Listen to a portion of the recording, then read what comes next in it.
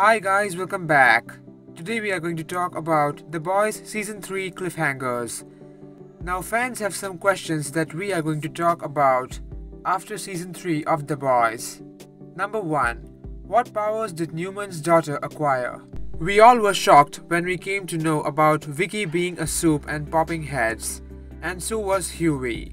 Now Stan Edgar was using her to get to Homelander, but Vicky teamed up with Homelander and took down Edgar for Compound V so that she can give it to her daughter. But they didn't reveal what powers her daughter got. Homelander also made her the president, but Vicky definitely made her daughter's life a living hell. Number 2. Where is Stan Edgar? Stan was really hurt when Vicky exposed him, as she was her daughter and he had an emotional bond with her. Many fans were looking for him after Vicky exposed him. He is probably hiding somewhere and planning something great against Homelander. And as he was associated with Grace Mallory, he might be teaming up with the boys too to take down Vicky and Homelander. Some fans also speculate that Stan also has powers.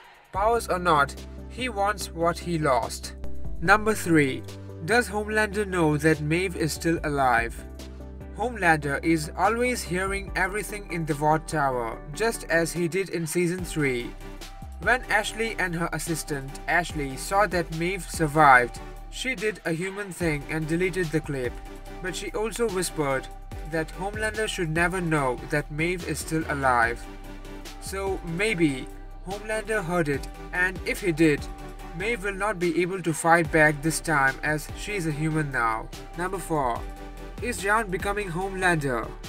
So in the finale, when Homelander introduced Ryan to the world, one guy spoke against him, and in return he got laser sliced by Homelander. Now Janine's stepfather started cheering Homelander for this, and so did the other crowd. And Ryan was seen smiling.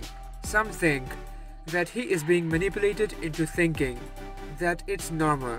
But it's not good and if he does turn out to be his father's son, then Butcher will have to finish him too. Also, now Homelander thinks that he can do anything from this response and people will always love him. So guys and girls, stay tuned for part 2 of this video. And if you guys enjoyed, please like, comment, share and subscribe if you haven't. Thank you.